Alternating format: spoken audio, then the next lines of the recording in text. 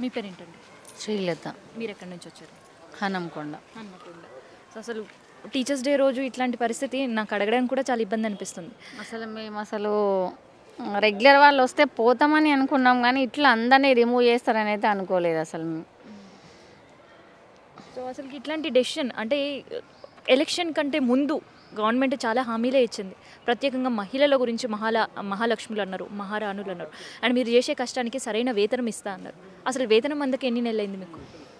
ఇప్పుడు మూడు నెలలు అవుతుంది అయినా వర్క్ చేస్తున్నారు? వర్క్ చేస్తుంది మరి ఇట్లా టర్మినేషన్ సంబంధించిన మెసేజ్ తెలిసిన తర్వాత ఏంది మీ పరిస్థితి అసలు? మాకు మెసేజ్ ఇవ్వలేదు. మాకంటూ మెసేజ్ ఏమి ఇవ్వలేదు. ఇవ్వకుండానే మెసేజ్ ఏం తెలీదు. ఏం తెలియదు. ఇప్పుడు ఏమంటున్నారు అసలు? మమ్మల్ని రిమూవ్ చేశారు. ఏం అనట్లేదు. అంతే వెళ్ళిపోండి అని చెప్పారు అంతే. రిమూవ్ చేయమని చెప్పారు అనేసి చెప్పారు అంతే. ఏం చెప్పలేదు ఇక మాకు. అంతే అంతే. ఎన్ని సంవత్సరాల నుంచి పనిచేస్తున్నారు? మేము ఇప్పుడు ఎనిమిది సంవత్సరాల నుంచి వెళ్ళి చేస్తున్నాం. ఎనిమిది సంవత్సరాల నుంచి వెళ్ళి చేస్తున్నాం. ఎక్కడ ఎక్కడ మరి ఏంది ఇట్లా గవర్నమెంట్ డెసిషన్ ఏమనిపిస్తుంది? మీకు? ఇప్పుడు గవర్నమెంట్ ఏమంటుందంటే కాంట్రాక్టర్ అవుట్ సోర్సింగ్ తీసుకుంటామంటుంది మేమేమంటున్నామంటే మమ్మల్నే సీనియారిటీ వైజ్ అందులోనే తీసుకోండి. కాంట్రాక్టర్ అవుట్ సోర్సింగ్ మేము ఉన్నాం కదా ఇప్పుడు మమ్మల్ని రిమూవ్ చేసి కొత్త వాళ్ళని ఎట్లా తీసుకుంటారు? ఎక్స్పీరియన్స్డ్ మళ్ళీ మీరు. ఉమ్. మెరిట్ అన్నారు. మీ పేరేంటి? అఫ్రీన్ మేడం నా పేరు. ఎక్కడి నుంచి వచ్చారు హనంకొండ. ఏంది గవర్నమెంట్ ఇట్లాంటి సడన్ డెసిషన్ ఎప్పుడైనా ఊహించిర్రా? లేదు మేడం అస్సలు ఎక్స్పెక్ట్ చేయలేదు. చాలా హోప్స్ ఉండే మాకు ఈ జాబ్ పైన. అంటే మినిమమ్ గవర్నమెంట్ అంటే జనరల్గా ప్రజల సంక్షేమాన్ని కోరుతుంది కదా. బట్ ఇట్లా సడన్ డెసిషన్స్ తీసుకొని మమ్మల్ని ఇబ్బంది పెట్టి మా ఫ్యామిలీస్ని ఇబ్బంది పెట్టి వాళ్ళు ఇంత దూరం రావాల్సి వస్తుంది అనుకోలేదు.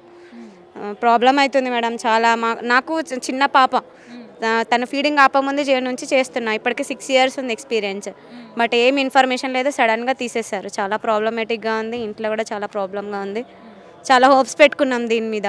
మాకంటూ ఒక దారి చూపించాలని మేము కోరుకుంటున్నాం మేడం. అసలు ఎందుకు? సడన్గా ఆల్ ఆఫ్ సడన్ దాదాపు ఆరు వేల మందిని టర్మినేట్ చేయాల్సిన అవసరం ఎందుకు వచ్చిందంటారు?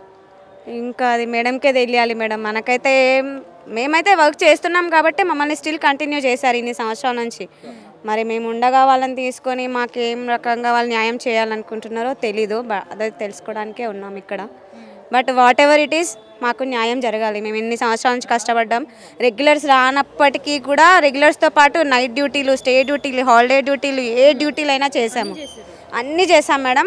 రెగ్యులర్స్తో సహా చేసాము బట్ మాకు న్యాయం జరగలేదు. ఇప్పుడు మాకు న్యాయం కావాలి అంతే. మరి ఇక్కడ కలిసి మాట్లాడే అవకాశమైనా ఉందా మీకు? మేడం లేదు. నిన్నటి నుంచి మా సార్ వాళ్ళు వెయిట్ చేస్తున్నారు. మేడం కనీసం అపాయింట్మెంట్ కూడా ఇవ్వట్లేదు. ఒకసారి జస్ట్ విన్ మా ప్రాబ్లం ఏంటో ఇట్లా తెలుసుకోవాలి కదా. అది మా ఒపీనియన్. అవకాశం లేదు అవకాశం లేదు. చాలా మంది అందరు ఇప్పుడు అసలు తెలియదు మేడం మొత్తానికి.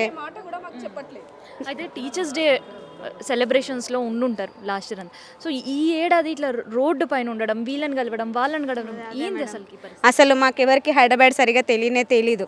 మేము. టీచర్స్ డే అంటే పిల్లలతో స్పెండ్ చేసి పిల్లలు ఇచ్చిన చిన్న చిత్క గిఫ్ట్లు తీసుకొని వాళ్ళు మాట్లాడితే హ్యాపీగా ఫీల్ అయ్యేవాళ్ళం. ఇవాళ ఇంత దూరం వచ్చి ఫ్యామిలీస్లో వదిలేసి పిల్లలు వదిలేసి టోటల్ హోప్స్ అనేవి పోయినాయి కాబట్టి ఇంత దూరం రావాల్సి వచ్చింది. మాకు న్యాయం ఇప్పుడు జా- చేయాల్సి వస్తుంది మేడం. శాలరీస్ కూడా సరిగా వేయట్లేదు ఈ ఇయర్ నుంచి. ఒక గురువు అంటే ఒక రెస్పెక్ట్ ఉండే పరిస్థితి ఉందా ఇక్కడ? లేదు మేడం. ఇక్కడైతే అసలు లేదు. మా నిన్న ఆల్రెడీ వస్తున్నారు కాబట్టి మాకైతే ఏం జరుగుతుందో తెలియట్లేదు. But whatever it is ఏదైనప్పటికీ మాకు న్యాయం చేయండి. మా ఇన్ని సంవత్సరాల మా ప్రాబ్లమ్ని అర్థం చేసుకొని మాకు ఏదో ఒక సోర్స్ చూపించండి.